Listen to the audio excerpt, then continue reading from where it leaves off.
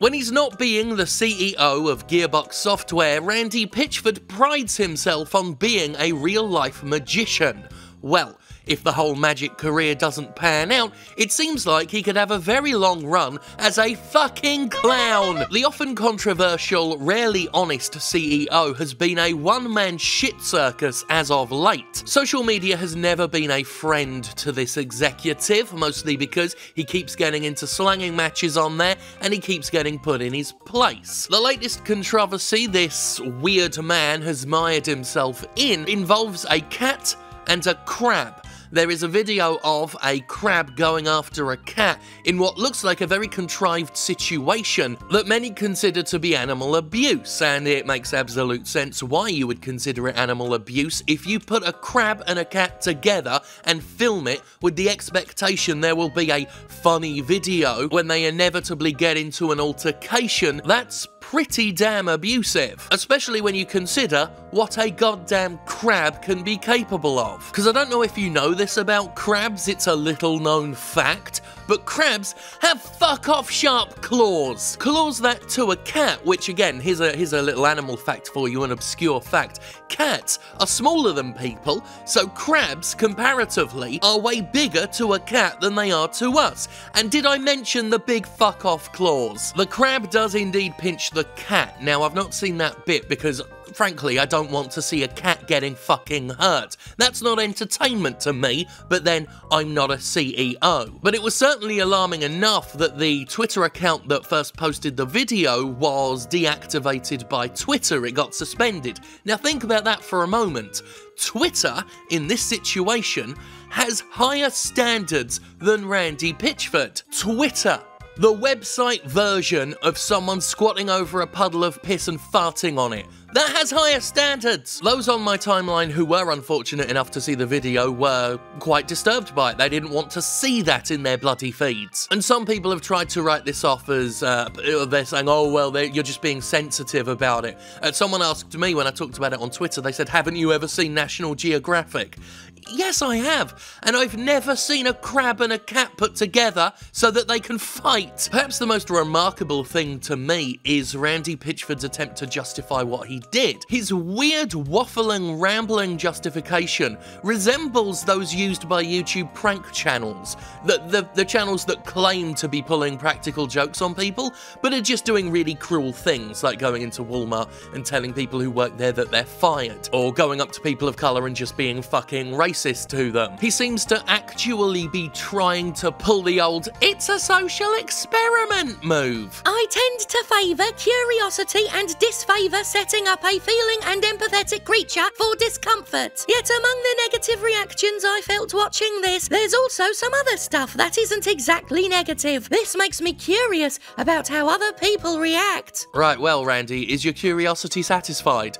Because everyone certainly fucking reacted. This absolute waffle became on Twitter what is known as ratioed, where the replies far outweighed the retweets and the likes, which tends to suggest that someone's getting a ton of shit for something that pissed everyone off, which is what this did. There were some people defending him, of course, the devil always has advocates, but most people were quite rightly disgusted at what this man deemed entertaining. This is the latest in a long line of farcically boneheaded controversies this glorified court jester has found himself in. His downright strange indiscretions go back years, but just the ones concerning Borderlands 3, just the ones from this year, have been absolutely bizarre. There was, of course, that moment moment where he said microtransaction nonsense wouldn't be in Borderlands 3, and when Game Informer corrected the statement and mentioned the monetization that would be there, he went off the deep end and started accusing them of trying to fuck him. He was trying to fuck on me! He claimed Troy Baker turned down the opportunity to reprise his role as Rhys for Borderlands 3,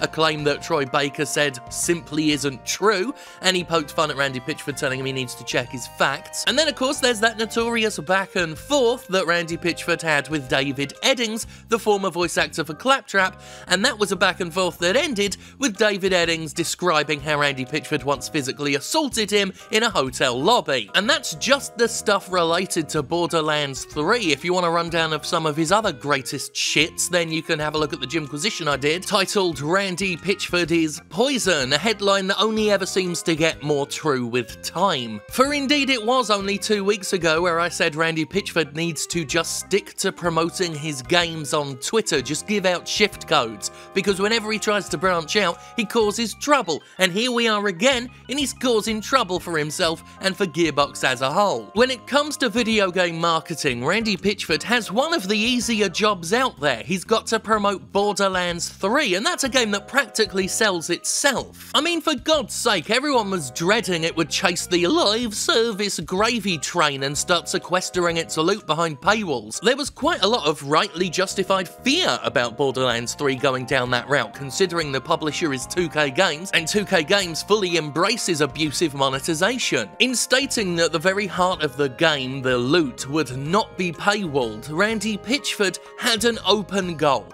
It was the easiest win in the world, and yet he still somehow turned around and scored an own goal. And it's all he's been doing throughout the promotion of Borderlands 3 ever since. It's incredible.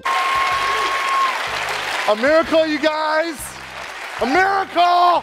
You know, it almost makes me feel sad for the marketing team for Fallout 76 they actually had a tough job. They were trying to convince people that Fallout 76 wasn't garbage, something that people didn't want to believe even a year before it came out. I would argue in a deliberately roundabout and cheeky way that Randy Pitchford is an insult to Fallout 76's marketing team. They had a really difficult job. They did their best to try and sell us on Fallout 76. Randy Pitchford, comparatively, has the easiest job in the world, sell us on Borderlands 3. Most people are already sold, and yet he keeps making case after case against the game by being a wanton dickhead. Randy Pitchford, of course, once famously accused me of having a hard-on for him, uh, you know, saying that I go after him at any given opportunity, and there is some truth to that.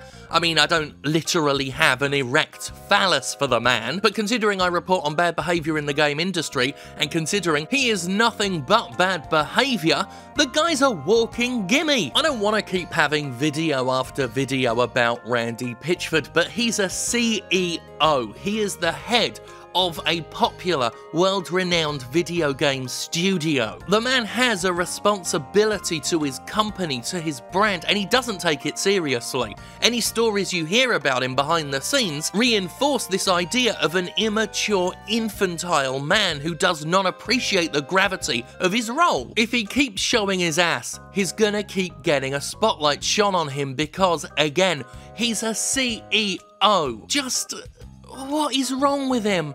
What the hell is wrong with him? I swear to God, I act more professional than he does, and I sometimes wear a rubber bird skull and fuck pogs on camera. Meanwhile, his entire run as CEO as of late just seems to be one giant wet fucked pog.